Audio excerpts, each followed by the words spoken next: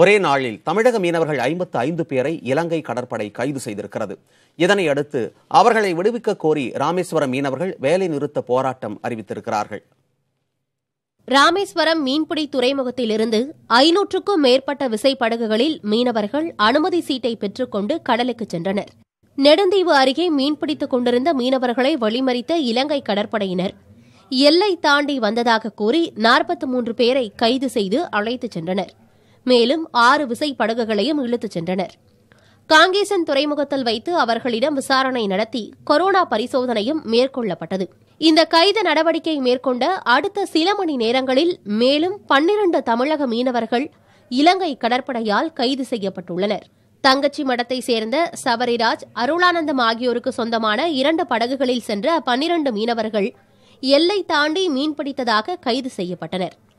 அவர்களை மன்னார் கடற்படை முகாமிற்கு அழைத்துச் சென்று விசாரணை நடத்தினர். ஒரே நாளில் இலங்கை கடற்படை ஐம்பத்தைந்து மீனவர்களை கைது செய்து எட்டு படகுகளை கைப்பற்றியிருப்பது மீனவர்களிடையே கலக்கத்தை ஏற்படுத்தியுள்ளது. வயிற்று பொழப்புக்காக மீன் பிடிக்க போகிற மீனவன் இலங்கை கடற்படையுடைய தொடர் சித்திரவதையில் படகுகள் மூழ்கடிக்கப்படுது. மீனவர் வந்து உயிரிழக்கிறாங்க. கொலை கொலை வழக்கு பதிவு சொன்னால் இந்த அரசாங்கம் பதிவு பதிவு பண்ணுறதுக்கே பயப்படுது. ஆனால் கடலில் மீன் காலை வைக்கிறதுக்கு மீனவர் அச்சப்பட்டு மாற்று மாநிலங்கள் நோக்கி ஓடிக்கிட்டு இருக்கான்.